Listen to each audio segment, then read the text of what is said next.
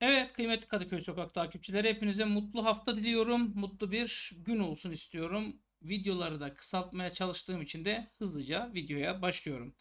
Fenerbahçe galibiyetle başladı. Fenerbahçe Beko Türkiye Sigorta Basketbol Süper Ligi'nin ilk haftasında Onvo Büyükçekmece'yi e, Onvo Büyükçekmece Basketbolu 97-85 mağlup etmiş.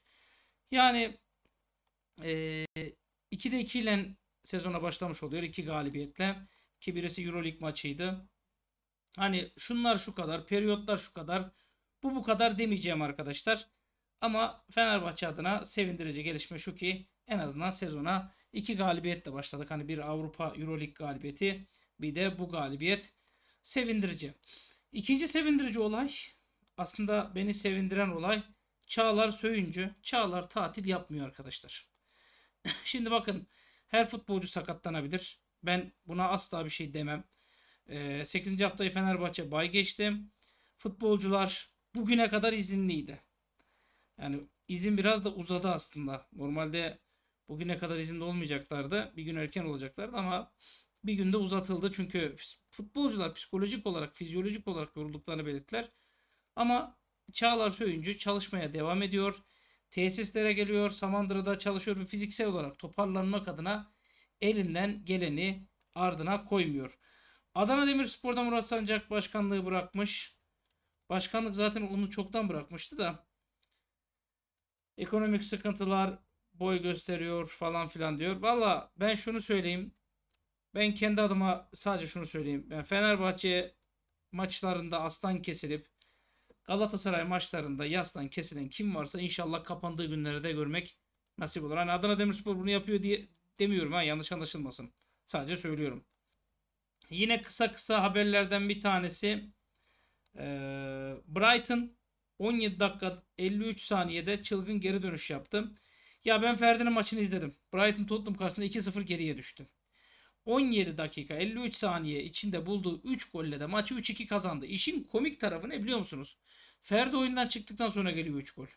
Ya ilk yarıda solda oynuyor. Ferdi Kadıoğlu maç 11 11'de başladı. 46'da yerini e, Estupinan'a bıraktım. Ya ben izledim arkadaşlar. Bak benim izlediğim kadarıyla şunu söyleyeyim. Başa, başta kötü başladı. Ulan dedim iyi oldu. Bu arada 4 maçlık galibiyet hasreti bitmiş. Tottenham 10 puanda kalmış. iyi olmuş. Ulan dedim Ferdi burada herhalde tutunamayacak dedim. Çünkü o kadar kötü başladı ki hani arkasına adam kaçırmalar falan. Sonra bir başladı abi bildiğimiz Ferdi modunu açtı. Aslında asist olacak iki tane de pas verdi ilk yarıda ama yani futbolcular o kadar enteresan kaçırdılar ki. Sonra mesela pozisyonlara girdi. Attığı paslar mesela gerçekten de pozisyona sokabilecek nitelikte. Zekice paslar atmayı da şey yapmış.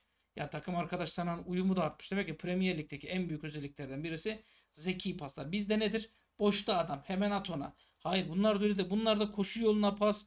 Hani nereden pozisyona sokabiliriz oraya pas diye. Bunu da söylemiş olayım arkadaşlar. Fenerbahçe'nin rakibi Azi Alkmaar yine kazanamadı diyor.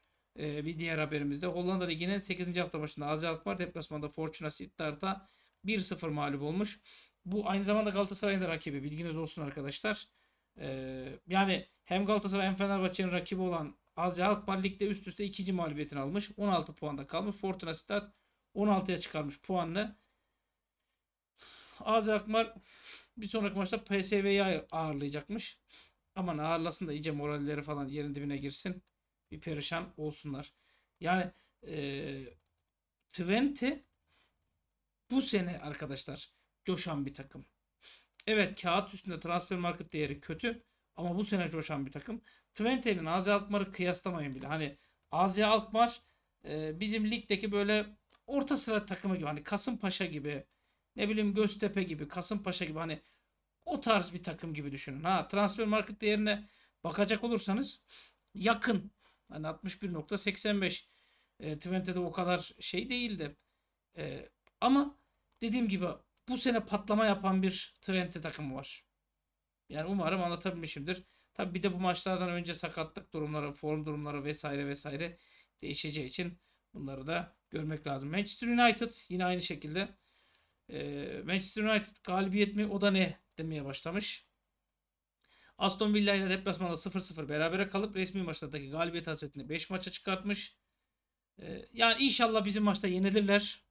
Yani milli maçtan sonra lig maçında Brentford ağırlayacakmış. Brentford maçının ardından Fenerbahçe'ye konuk olacakmış. Aston Villa ise Fulham deplasmanına gidecek diyor. Bize yenilsin de bize yenildikten sonra ne oluyorsa olsun. Ha, Süper Lig'de puan durumu 9. hafta fikstürü diyor. Bunu bu videoda konuşmayacağım. Ya da konuşayım ya. Şimdi arkadaşlar Süper Lig'de bazı şeyler yaşandı. Ee, dün akşamki maçta mesela Galatasaray maçı var. Tartışılan bir kırmızı kart pozisyonu var. Ee, penaltı pozisyonu var tartışılan. Alanya lehine penaltı pozisyonu var ama maç başlamadan Fatih Tekke'nin bir açıklaması var. Hani açıklamayı dinleyin. Dersiniz ki hocam bu zaten takımını yatırmaya getirmiş buraya dersiniz. Yani öyle bir açıklama ki ben herhalde dedim 5-10 tane yiyecekler. Yani benim normalde ümidim vardı Alanya Spor'dan. Alanya Spor dedim bir direnç gösterirse beraberlik falan alabilir. Bir de Galatasaray son zamanlarda psikolojik olarak sıkıntı yaşadığı için dedim. Bir şeyler yapabilir. Hatta Galatasaray'a karşı iyi savunma yaparlarsa gol bile yemeyebilirler dedim ama yani Alanya Spor çok kazanma niyetinde değildi. Son dakikalarda bile Serdar Dursun'un kaçırdığı inanılmaz bir pozisyon var. Yani akıllara zarar. O Serdar Dursun'u kaçırdı. Geçen sene de 2 puan hediye etmişti. Şey 3 puan hediye etmişti ama ikisi fazlalıktı. Bu sene de Serdar Dursun Fenerbahçe taraftarını çileden çıkaran bir gol kaçırdı son dakikada ama yani futbol bu. Gol de kaçar, şey de olur. Yeter ki hakemler art niyetli olmasın.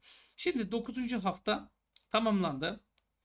Ee, daha doğrusu 8. hafta tamamlandı. 9. hafta fikstürü ortaya çıktı. Galatasaray dediğim gibi Kore'den Alanyaspor 1-0 mağlup etti. Beşiktaş deplasmanda Gaziantep'le 1-1 beraber kaldı. 90 artı 5'te Beşiktaş'ta da kiralık oynayan Maxim'in attığı golle berabere kaldılar. Yani Galatasaray 22 puana yükseltti. Zirvedeki yerini korudu. İyi oldu. Niye iyi oldu? Şimdi Beşiktaş da en azından Galatasaray'ın kullanmasını konuşabilir duruma geldi. Eğer Beşiktaş da kazansaydı bunlar hiç güllük gülistanlık biz şöyle iyiyiz böyle iyiyiz falan filan diyeceklerdim. O açıdan e, şey oldu hani Fenerbahçe'nin bay haftasında ben isterdim ki Galatasaray'da Beşiktaş'ta takılsın.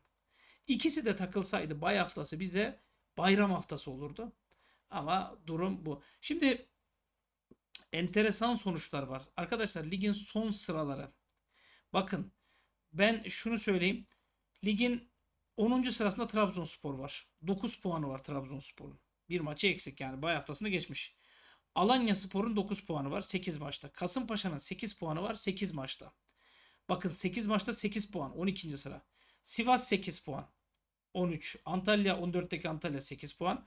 15'teki Rize 7 puan. 16'daki Gaziantep 5 puan. Yani son 4 sıra Gaziantep 5 puan. Kayseri 4 puan. Hatay 3 puan. Adana Demir 1 puan. Hatay düşme potasında bu hafta 1 puanı Trabzon'dan aldı. Gaziantep düşme potasında bu hafta 1 puanı Beşiktaş'tan aldı. Baktığınız zaman bak yani düşme potasındaki bu takımlar mesela Adana Demir'le Galatasaray oynadı. Ee, Gaziantep'le oynadı. Rize'yle oynadı. Antalya'ya gidecek mesela. Kayseri'nin Hatay'dan daha oynamadı. Mesela ben Fenerbahçe açısından düşünüyorum. Adana Demir'le oynadık. Rize ile oynadık. Antalya ile oynadık. Yani şu aşağı profildeki hani Kasımpaşa ile Alanya ile oynadık. Ee, bu alt tarafta hani Sivas şu anda altta 1. Onun dışında Gaziantep 2, Kayseri 3, Hatay 4. Yani bu alt profilde oynama yani oynayacağımız 4 takım var. Bir de Galatasaray'ın şeyi hani fikstürü elle ayarlanmış gibi. Bu arada 9 Ekim Cumartesi günü Antalya Spor Galatasaray maçı var. İnşallah Antalya Spor maçtan galibiyetle ayrılır. İnşallah kurban olduğum Allah'ım duanızı eksik etmeyin. Trabzonspor e, Rams Başakşehir ile Papara Park'ta 16 Ekim şey 19 Ekim Cumartesi günü maçı var. İnşallah ilk yenilgilerini orada alırlar. Onun dışında Beşiktaş Konya Spor maçı var ki Konya Spor çok kötü bir sezon geçiriyor. Yani Beşiktaş kesin kazanır diye düşünüyorum 20 Ekim pazar günü. Samsun Spor Fenerbahçe maçı var. 20 Ekim pazar günü yine aynı şekilde. Şimdi Samsun ligin ikinci sırasında arkadaşlar. Evet ligin ikinci sırasında 18 puanla e, ilginçtir. 2 mağlubiyet 6 galibiyetler var. İnşallah bir mağlubiyet daha bizden alırlar. 9. maçta 3 mağlubiyet yaşarlar. Hem biz ligin keyfini yerine getirmiş oluruz. Hem de bir şeyler değişmiş olur. Şimdi Fenerbahçe'de iki tane transfer haberi. Fenerbahçe o isim için e, geri sayıma geçti. Ara transferde diye bir haber yapmışlar. Muhtemelen Medina'dan bahsediyorlardır diye. Baktım arkadaşlar. İşte Fenerbahçe 8. haftayı bay geçirecekti. UEFA Avrupa Ligi de şöyle de böyle de. Christian Medina. Dün ben bir video çektim. Daha doğrusu iki gündür videolar çekiyorum. Her gün çekiyorum videoyu da. Ya Medina konusunda bir arkadaşım diyor ki hocam diyor İsmail yüksek kadar yetenekli değil. Çok kötü bir futbolcu. Şöyle böyle diyor. Bilmiyorum arkadaşlar. Sizin genellikle böyle kötülediğiniz futbolcular iyi çıkıyor. Amrabat için de şey diyordunuz. Ben hatırlıyorum. Hocam işte kurun için Fas şubesi diyordunuz. Yani öyle Fas şubesine can kurban. Keşke hepsi öyle çıksa. Ee, ben Medina'yı izlediğim kadarıyla söyleyeyim. Fenerbahçe'ye faydası dokunur. Ama bizim önceliğimiz Medina'yı getirmekten ziyade Şimanski'yi düzeltmek. Bakın biz Şimanski'yi düzeltirsek, Bartu Elmaz'ı geliştirirsek, İsmail'i geliştirirsek, eski haline getirirsek. Anlatabiliyor muyum? Bize bunlar lazım. Ben her zaman söylüyorum. Transferden ziyade önce eldekinin e, kıymetli hale geçmesi lazım. Kıymetli maden ya futbolcular. Senin futbolcun kıymetli bir maden. Bu madeni işlemen lazım. Cevherini değerlendirmen lazım. Anlatabiliyor muyum? Ve bunu yapmak adına da şu milli ara bence bir nebze iyi oldu. Bir bypass oldu. Futbolcular için bypass oldu. Teknik heyet için bypass oldu. Yani bypass oldu da oldu. Ama ben bir konuda size bir itirafta bulunayım. Arkadaşlar Fenerbahçe'de bir sıkıntı var. Nedir sıkıntı? Oğuz Aydın sıkıntısı. Levent Mercan sıkıntısı. Bakın Oğuz Aydın 6 milyon euro verilerek alındı. Hatta o futbolcuyu Ajax istiyordu. Ona rağmen alındı. Levent Mercan 2 milyon euro verilip alındı. Bakın Fenerbahçe'nin parası çöp değil. Oraya sağa sola harcanacak para yok. Ha yabancı kuralı değişikti sonradan düzelttiler. O da ayrı mesele. Hani sanki Fenerbahçe'ye zarar vermek için kural yaptılar gibi. O da ayrı mesele. Ama bu iki futbolcunun mesela Levent'in solda Oğuz Aydın'ın sağda kendine böyle babalar gibi düzelmesi lazım. Aynı zamanda şu milli arada gitmeyen futbolcuların bugünden itibaren de coşması lazım. Ee, biz bunlardan önce verim alalım. Transfer kolay iş. Onu sonra hallederiz. Fenerbahçe Antony'den vazgeçmiyor. Transfer teklifi. Şimdi Manchester United Antony'yi kadroda düşünmüyor. Açıkça söyleyeyim. Ama beklentileri de çok yüksek. Şimdi yüksek beklenti kadroda düşünmüyor. Kadroda düşünmediği adamdan yüksek beklenti de biraz sıkıntı. Yaşı daha 24. 20 milyon euro piyasa değeri var. Şimdi Anthony bizdeki Şimanski'nin Brezilya şubesi. E, hani FA Cup'ta bir maçta bir golü var 90 dakikada. Onun dışında Premier Lig artı Avrupa Ligi'nde toplam 49 dakika süre almış. Bakın 20 milyon euro piyasası var. Zamanda 95 milyon euro verip almışlar Ajax'tan. Şimdi Ajax'ta o kadar patlayan ama Manchester United'da bu duruma gelen futbolcu bir şey diyemem. Şimdi Anthony'yi bu arkadaşlar kiralamak istiyor. Biz 10 milyon euro civarında bir bonservis önerdik. Evet biliyorum ben de biliyorum salakçı olduğunu. Ben de biliyorum kolay kolay vermeyecekler ama biz önerdik. Ee, çok net bir şekilde reddettiler. Ama şimdi devre arasında Fenerbahçe yeniden atağa geçme kararı aldı falan diye bir haber yapmışlar. Şimdi düşünsenize arkadaşlar inanılmaz kötüye giden bir performans. Ama aynı şekilde hatırlıyor musunuz Manchester United'dan bir arkadaş vardı. Neydi o arkadaş?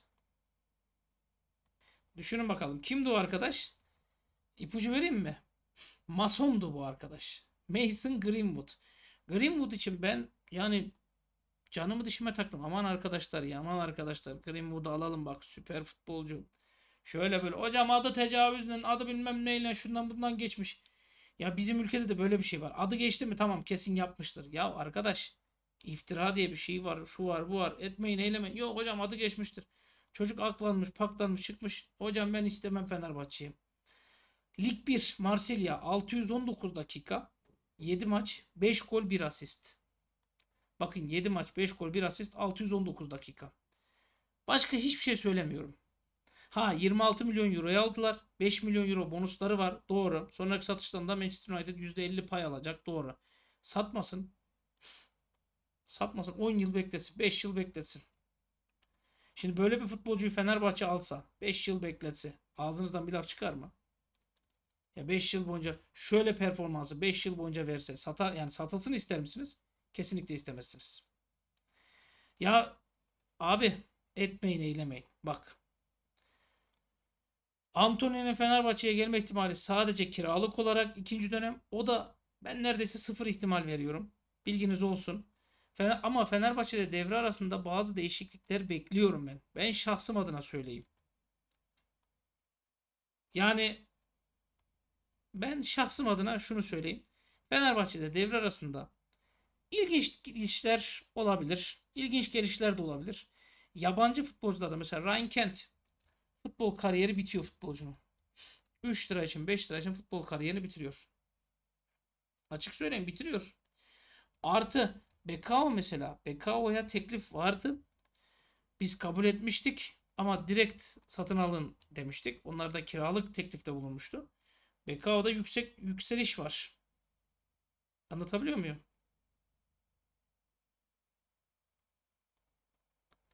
Yani BKO'da bir yükseliş var. Bu yükselişte eee birilerinin dikkatini çekecektir. Artı ek olarak birkaç bir şey daha söyleyeyim arkadaşlar.